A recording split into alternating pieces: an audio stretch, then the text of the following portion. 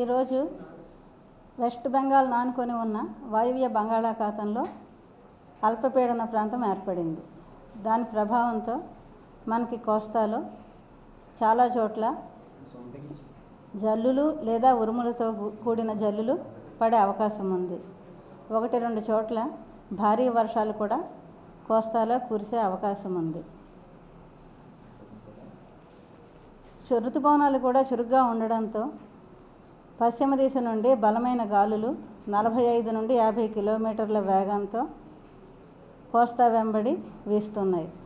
అందువలన సముద్రము అలజడిగా రఫ్గా చాలా రఫ్గా ఉండే అవకాశం ఉంది. అందువలన బెస్తవారిని సముద్రంలోకి వెళ్ళవద్దని హెచ్చరించడమైనది. పశ్చిమ దిశ నుండి ఉంటాయి. బెస్తవారు సముద్రంలోకి వెళ్ళరాదు. రైన్ఫాల్ విజయవాడ వరరామచంద్రాపురం ఎనిమిది సెంటీమీటర్లు పడింది.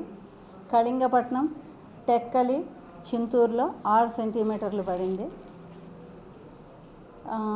కూనవరం తిరువూరు మెర్లాకు మెర్లాకుముడి డ్యామ్ ఇచ్చాపురం పాతపట్నం గుడివాడ పోలవరం నాలుగు ఐదు సెంటీమీటర్లుగా నమోదైంది. ఈ ఉదయం ఎనిమిదిన్నరకి ఐదు సెంటీమీటర్లుగా నమోదైంది అక్కడ